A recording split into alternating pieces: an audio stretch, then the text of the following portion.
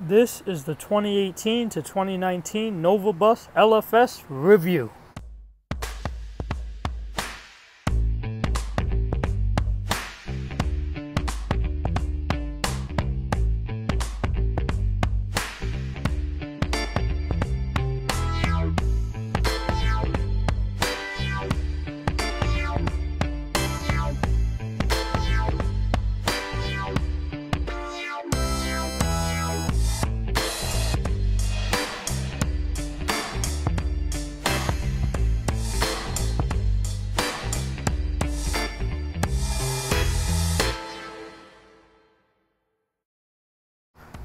This is the 2018 to 2019 Nova Bus LFS, the twin brother of the 2015 LFS and the third generation of LFSs ordered for New York City Transit.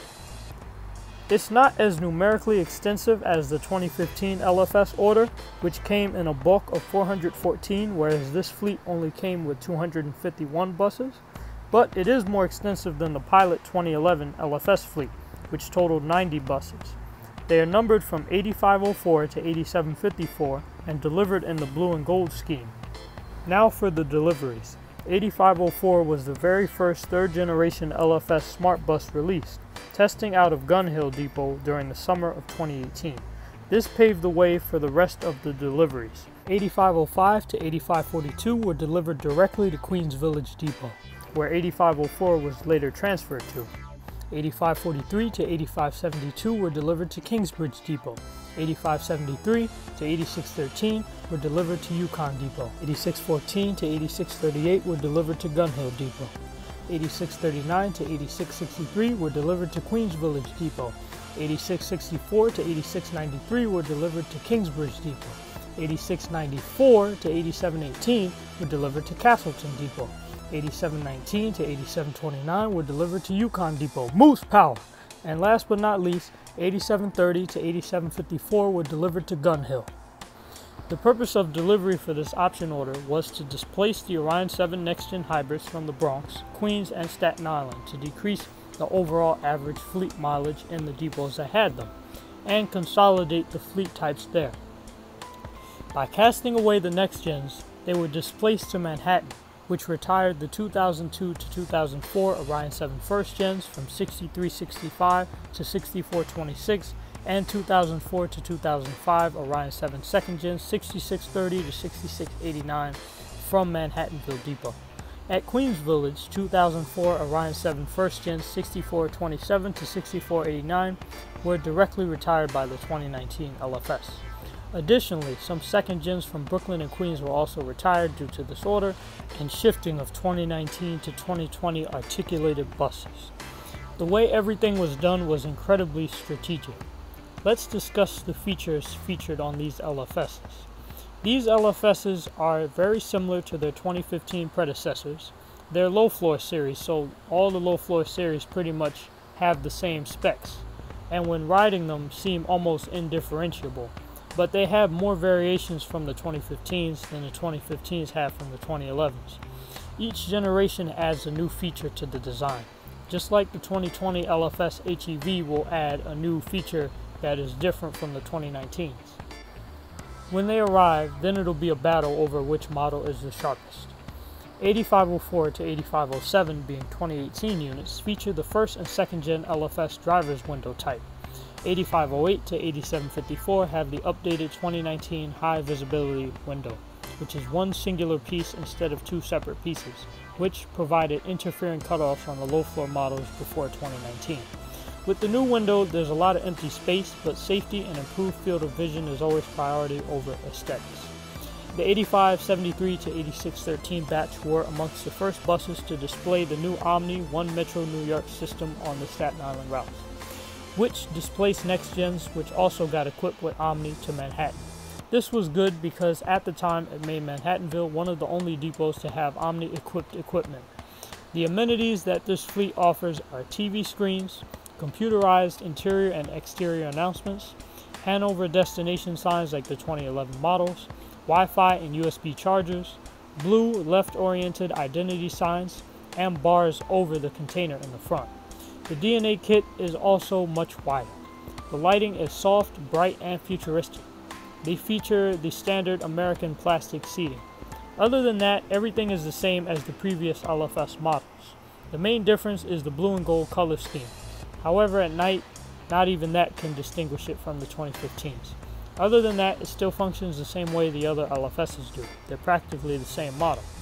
And now that some 2015s have been equipped with Wi-Fi and TV screens and announcements, the 2019s are definitely not as unusual as they used to be. Due to having the Cummins EPA 17L9 ZF EcoLife 6AP 1400B engine, they have a deeper growl than the 2015s.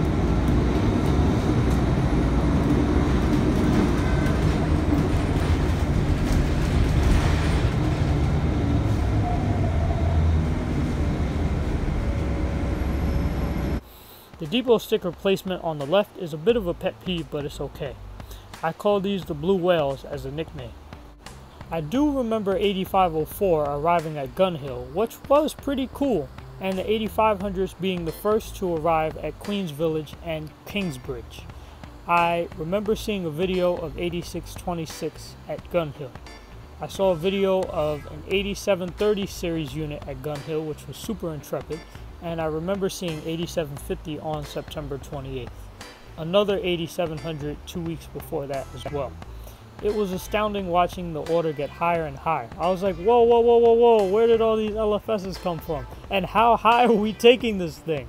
Until I looked at the chart, saw the order ceased at 8754, and said, okay, they're done. These buses were my inspiration to continue fanning and to create Smart Quest. It started as LFS Quest, then became Smart Bus Quest or LFS Quest Part 2, then it became the Smart Quest that you guys know today. If I flipped out about the 2015s, then you know my reaction was exactly the same for these, if not much, much better.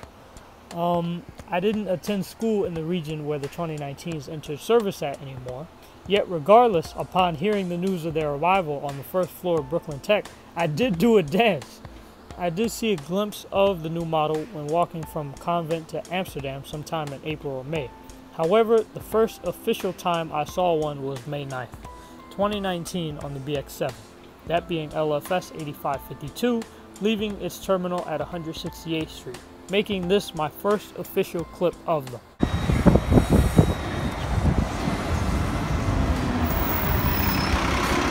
I was amazed, and the world felt reset, renewed. Something new to discover had arrived. You know how long I've wanted to see this exact thing happen? Blue and Gold Plus, my favorite model? M100 BLFSs?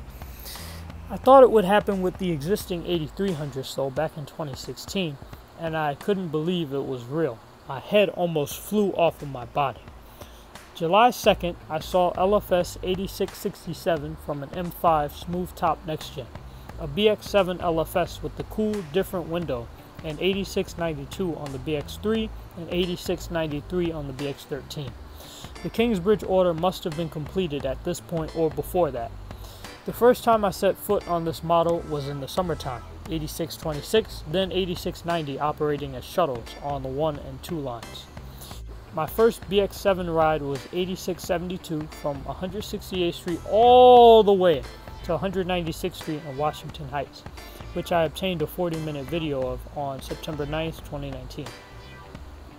Afterwards, on October 4th, after filming some XN60s bunched together, I caught my first 2019 unit on the M100. 8681 from 145th Street to 168th Street, getting a 26 minute video of that. These models predominate in the Rain Quest, aka Smart Quest number 6. If you haven't watched that video, please go check it out. I also fanned these units on October 6th, 12th, 16th, December 5th, January 23rd, June, and July 23rd. One comment though, you notice how none of the LFSs, nor the LFSAs for that matter, went to MTA bus? They like to keep that place strictly Orion and New Flyer. The last Novas they had were those RTSs they hung on to until 2018. Anyways, these models are perfect, as if you couldn't make the LFS any better, Nova and the MTA exceeded my expectations, and for that I give a round of applause. You guys did it, man! I'm trying to make 8672 the new 8360. The LFSs look super epic on the S79 Select bus service and ride really well and really fast too, but at the expense of the greens and oranges in Manhattan.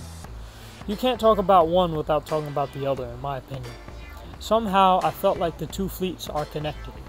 The paint scheme did well on the LFSs. I was surprised how well the scheme worked for them since it was an, originally an Xcelsior thing until around 2018. And even with the LFSAs, that was only for select bus service purposes and it looked super boxy. It was cool how the 2018 to 2019 LFSA Arctics all arrived in select bus service, and the 2018 to 2019 LFS standards all arrived in the local scheme. That was until, of course, 5439 and 5441 deviated from the pack and obtained the local scheme too. But imagine how weird it is seeing an LFS in the select bus service scheme. That would have been crazy. They should have gone for it though. My only gripe is how far out the rearview mirror protrudes from the bus. Good for the driver, but a bit dangerous for pedestrians. As far as the Hanover signs are concerned, I like the Axions more, but these are suitable. I give these spectacular models a 100 for the 100. These blue whales are epic, and they are definitely rolling computers. With that, as we sign off, we say, hope you enjoy, have a nice day, enjoy the Smart Quest, please subscribe, stay healthy, and stay blessed.